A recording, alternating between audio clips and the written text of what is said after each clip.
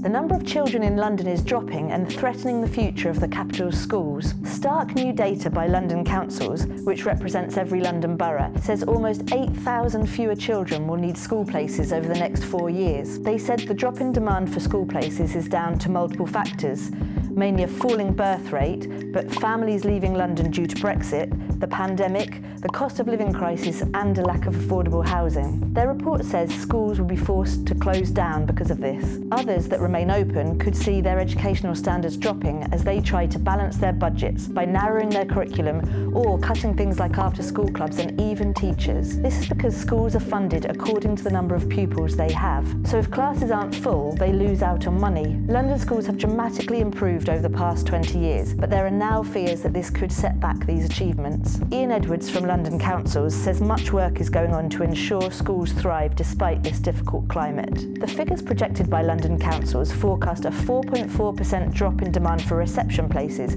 which is the equivalent of 3,864 places or 128 classes. Schools across London have already started to close or merge in a bid to survive. Vauxhall MP Florence Eshalomi is campaigning on this issue and said London risks becoming a soulless place if the number of children here continues to drop. London Councils is calling for the government to ensure school funding keeps up with inflation to help schools cope with the changing levels of demand for places. It also wants more powers for local authorities to work with academies, which currently are not under their control, despite local authorities being responsible for managing school places. The Department for Education told us it's for local authorities and academy trusts to balance the supply and demand of school places in line with changing demographics, as they have done for many years. Now, London's birth rate has historically ebbed and flowed, and London is likely to become a more popular place to raise a family at some point in the future. London Council says it is therefore vital that empty school buildings are not sold off, but instead kept for educational purposes,